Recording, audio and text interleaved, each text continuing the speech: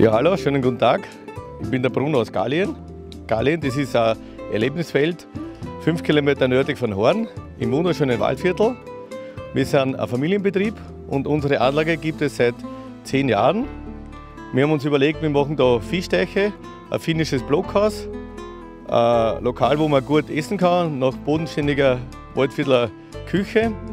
Wir haben neun Blockhäuser. In jedem Blockhaus sind sechs Betten drin, Dusche, WC, eine Wohnküche. Dann haben wir fünf Tippis, das sind so Indianerzelte, wo man drinnen im Schlafsack schlafen kann.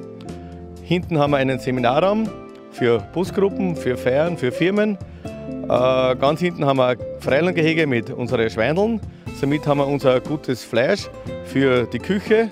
Wir dann das selber einsuchen, selber säuchen. Somit haben wir ein Haus gesäucht.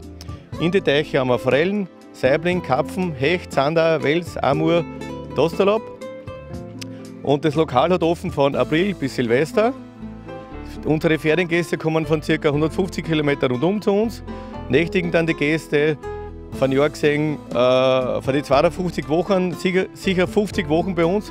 Das heißt, es sind immer Gäste da, die bei uns nächtigen. Im Sommer halt jeden Tag, im Winter eher nur zum Wochenende.